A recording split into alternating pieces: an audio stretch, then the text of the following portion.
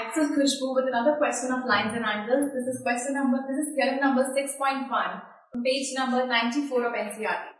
It says, if two lines intersect each other, then the vertically opposite angles are equal. हमारे पास ये दो lines हैं. One is this. This is A. This is O. This is B. C. D. ये दो lines हैं. आपको prove करना है कि अगर लाइंस इंटरसेक्टिंग है तो वर्टिकली ऑपोजिट एंगल्स इक्वल है दैट मींस ये वाला एंगल इसके इक्वल और ये वाला एंगल इसके इक्वल ये प्रूव करना है। सो हमें गिवन है that A B I mean A D and B C are intersecting at O आपको प्रूव करना है।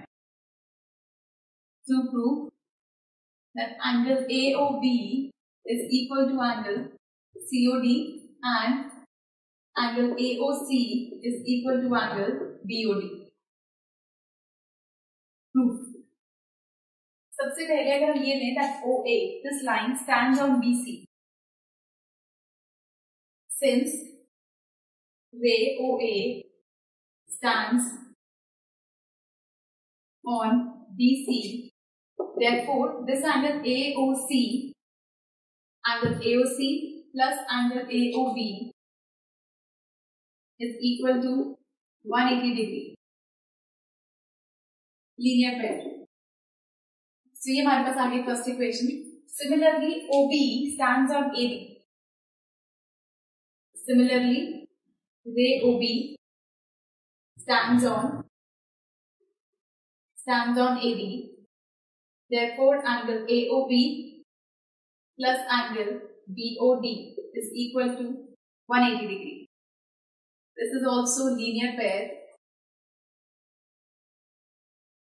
अब अगर ये दोनों इक्वेशंस 180 के इक्वल है तो दोनों आपस में इक्वल होंगे so from first and second angle AOC plus angle AOB is equal to angle A O B plus angle B O D so ये दोनों कैंसिल हो गए वहाँ से।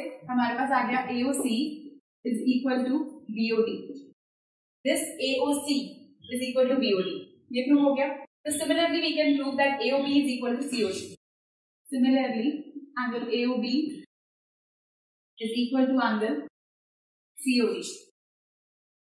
So, this was theorem 6.1 from our NCERT and do watch the next video for some more questions.